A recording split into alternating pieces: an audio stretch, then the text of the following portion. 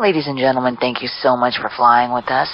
On our final approach, please make sure your seat backs and trays are in their upright and locked positions.